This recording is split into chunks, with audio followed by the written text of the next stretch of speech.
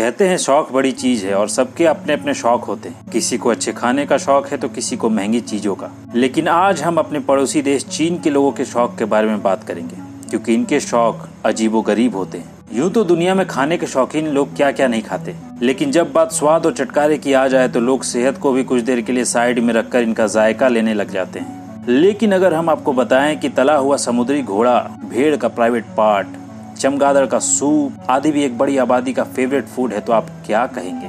यूँ तो दुनिया में नॉनवेज खाने वाले करोड़ों लोग हैं, लेकिन चीन के अजब गजब फ़ूड के बारे में लोग कम ही जानते हैं। कोरोना काल में वुहान की एनिमल मार्केट के बारे में लोगों को पता चला, लेकिन चीन में ऐसे कई बाज़ार हैं जहाँ से लोग अपने पसंदीदा जीव खाने के लिए खरीदते हैं। चीन में एक से बढ़कर एक चलने, रेंगने, उड़ने, तैरने वाले जानवर खाए जाते हैं। जिनके नाम पर सुन लेने से आपका जी घबराने लग जाएगा। तो इस वीडियो में हम चीन के लोगों द्वारा खाए जाने वाले कुछ ऐसे ही फ़ूड का ज़िक्र करने जा रहे हैं। नंबर एक, भेड़ का प्राइवेट पार्ट जी हाँ चीन में भेड़ के प्राइवेट पार्ट को भी पकाकर बड़े मन से खाया जाता है। चीन के कई रेस्टोरेंट में यह डिश आपको देखने को मिल सकती है, जो सुनने में ही अजीब लग रही है। भेड़ के लिंग को स्थानीय लोग बड़े चाव से खाते हैं, और यह भी मानते हैं कि यह स्वास्थ्य के लिए बहुत फ़ायदेमंद होता है। नंबर दो सिल्क वर्म सिल्क वर्म, जिसे रेशम कीट भी कहा जाता है, यह एक रेंगने वाला जीव है। चीन में रेशम कीट को स्थानीय लोग चाव से खाते हैं। इसका स्वाद झींगे या केकड़े जैसा होता है। रेशम के कीड़ों को चीन के स्थानीय बाजारों में कई तरह से पकाकर या डिब्बा बंद स्टॉक में बेचा जाता है। यह आमतौर पर चावल या नूडल्स के साथ फ्राई करके परोसा जाता है।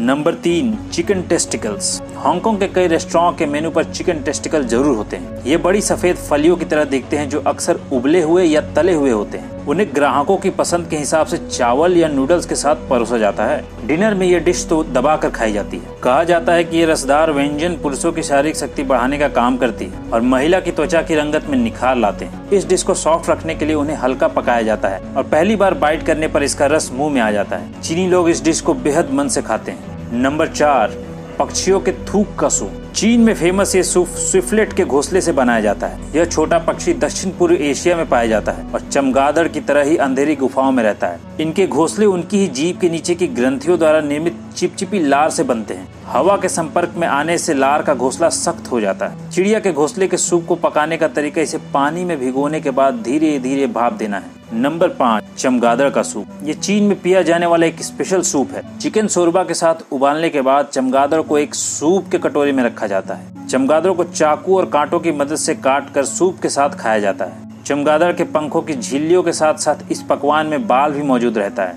माना जाता है कि यह व्यंजन भी काफ़ी स्वादिष्ट होता है। नंबर छह, बिच्छू।